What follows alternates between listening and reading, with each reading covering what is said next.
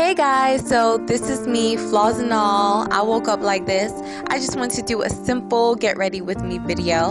I'm going to be doing a simple look and I wanted to use this foundation because it is lightweight and it just gives me just the right amount of coverage without looking like I have too much makeup on.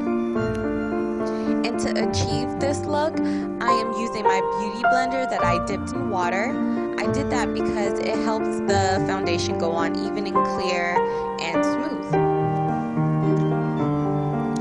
Now I'm using my Pure 4-in-1 liquid foundation underneath my eyes because I just like the way it is a little bit more heavier than my Fit Me and it blends in so well and it gives you a full coverage.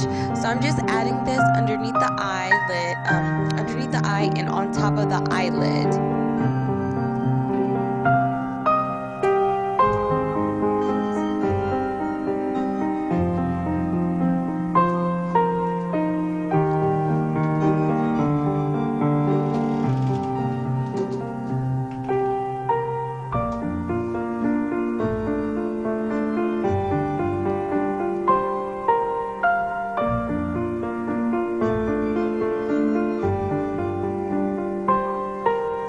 Now after I have blended everything in, I'm going to be doing my eyebrows. It's time to tame these bad boys.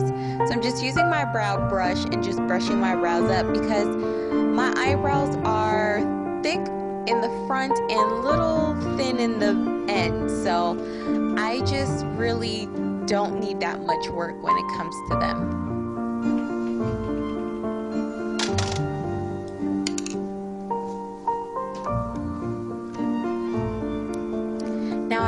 My concealer underneath the brow and I'm using this as a guideline.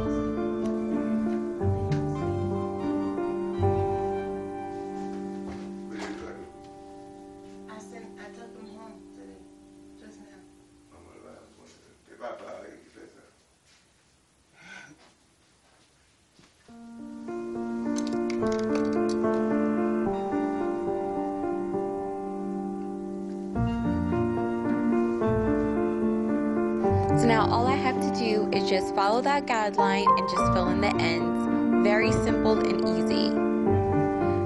I usually use this loose pow powder to just protect me from getting real oily during the day. So I just apply to where I usually get oily, which is my chin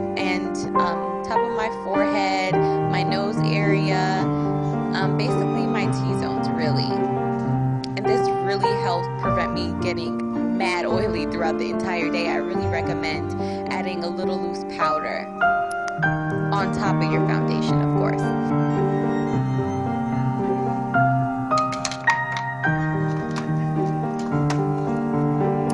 And lastly, I'm going to be adding this NYX setting spray. I really love this spray because it helps my makeup last all day long and it gives me such a beautiful dewy finish. I love this color because it's so springy and it's so fitting for this beautiful weather we're experiencing today in the South. Sorry, Northerners.